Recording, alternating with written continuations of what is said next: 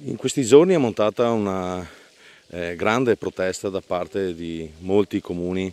soprattutto trevigiani. Eh, io ho voluto un paio di giorni fa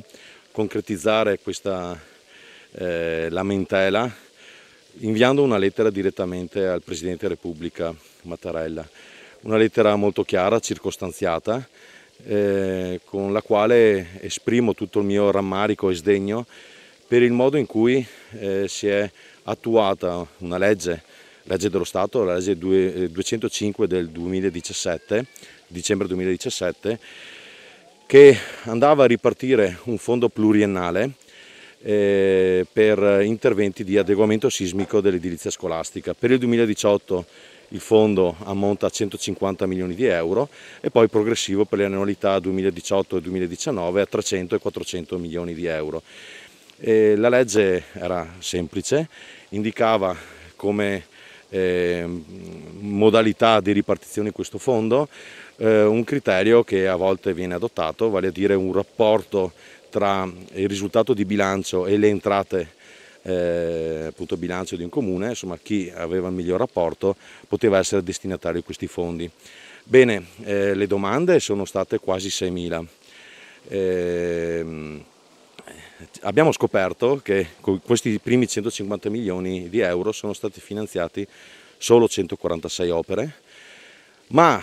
eh, analizzando ancora di più come abbiamo fatto noi eh, questa graduatoria, in realtà i comuni destinatari di questi fondi sono solo 54, è evidente che molti comuni hanno presentato più richieste, non come noi che conoscendo, riconoscendo le grandi richieste che sarebbero arrivate dal territorio nazionale abbiamo scelto un'unica opera anche perché eh, siamo certi che nel momento in cui verrà finanziata noi la porteremo a termine nei tempi.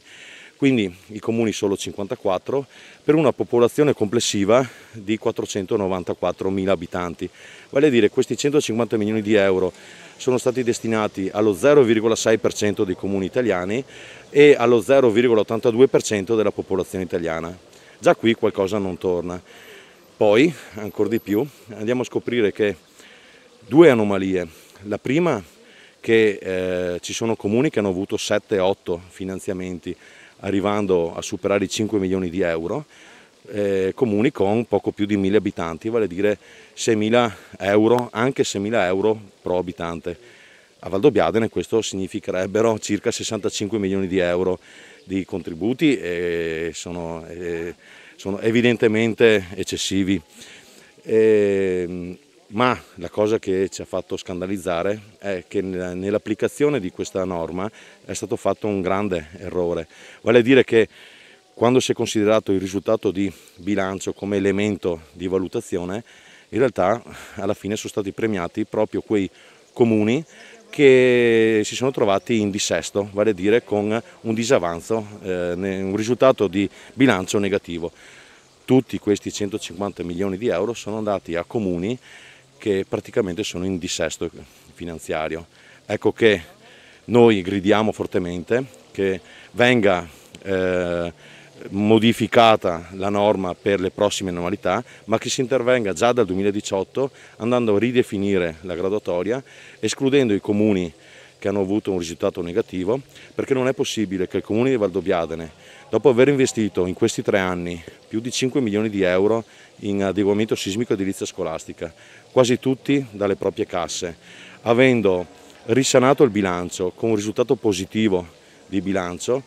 rinunciando a tut, quasi tutte le altre opere perché la priorità è l'adeguamento sismico dell'edilizia scolastica, ecco, non è possibile non essere riconosciuti destinatari di questo contributo, ma vedere che questi soldi vadano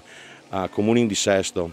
che hanno anche 31 milioni di euro di eh, sbilancio di negativo nel proprio bilancio, eh, questo è intollerabile. Ho scritto al Presidente della Repubblica, aspetto una sua risposta, ma sicuramente non finirà qui.